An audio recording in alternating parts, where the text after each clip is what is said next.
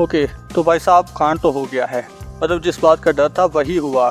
जैसे कि हम लोग जानते हैं, जोनाथन मेजर्स, जो कि एमसीयू में कैंग का रोल प्ले करते हैं, और आर्टमैन की शूटिंग के बाद उन पे इल्ज़ाम लगाया गया कि उन्होंने एक रेस्टोरेंट में या कैफ़े में अपनी जीएफ को बुरा भला कहा है और उससे मारा भी है।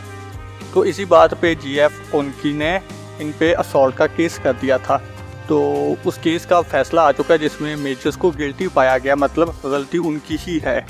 और अब मेजर को इस केस के बिना पर जेल भी जाना पड़ सकता है या कुछ जुर्माना भी हो सकता है।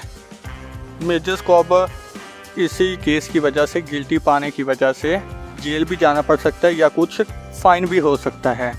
इसी बात का तो मार्वल वाले वेट कर रहे थे और इससे के कुछ देर ही बाद न्यूज़ आती है कि मेजर्स को मार्वल ने रिप्लेस कर दिया है उसे।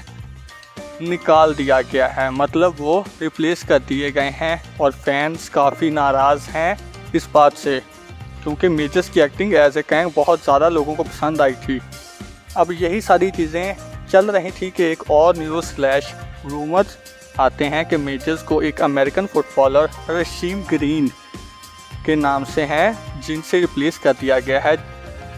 जैसे मार्वल वाले पहले ही सोच के बैठे थे कि भाई क्या करना है आके मैं पहले ही ये बात क्लियर कर देता हूँ कि ये सिर्फ़ रूमर्स हैं, कोई कॉन्क्रीट न्यूज़ नहीं है, ये मार्वल की तरफ़ से कोई ऑफिशियल न्यूज़ नहीं आई है। ऑब्वियसली इतनी जल्दी ऑफिशियल न्यूज़ नहीं आएगी। अभी मार्वल वाली की टीम बैठेगी, आपस में बात करेंगे कि लोगों को कैसे बताना है, कैसे मेजर्स को रिप्लेस करना है स्टोरी लाइन आगे क्या चलेगी। क्योंकि अगर देखा जाए तो मेजर्स में भी सीक्रेट वॉर्स के बाद भी हमें नज़र आ सकते थे, किसी ना किसी वेरिएंट में।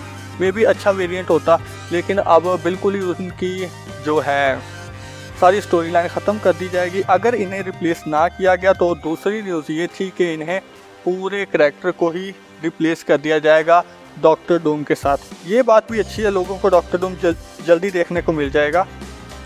लेकिन लोगों को मेजर्स काफ़ी पसंद आए थे। तो अब देखते हैं अभी तो मैं वेट कर रहा हूँ न्यूज़ का।